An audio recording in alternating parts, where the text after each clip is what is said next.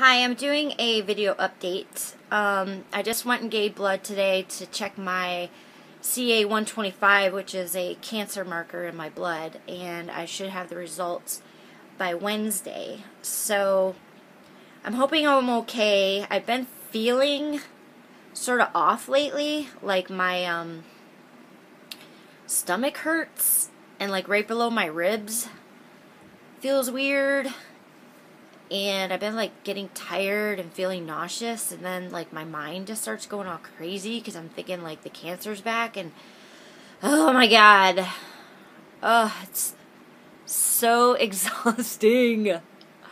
This shit is exhausting. It's like never ending. You're constantly feeling your shit for bumps and lumps. Oh my god.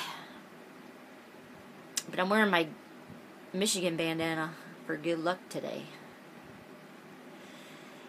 And uh hey, my friend Ke- my friend Angel, he's my chemo buddy. He sits next to me every time I have chemo and we like yap yap yap yap yap the whole time. I've been emailing you. Where are you? If you're watching this, Angel, you better call me. Like you can't just disappear because that freaks me out. Then I wonder what is wrong. Are you sick? Like we're in this. We're cancer buddies, dude. Alright, I should have my results by Wednesday. I'll let you know how it goes. So keep me in my prayers and, I mean, keep me in your prayers.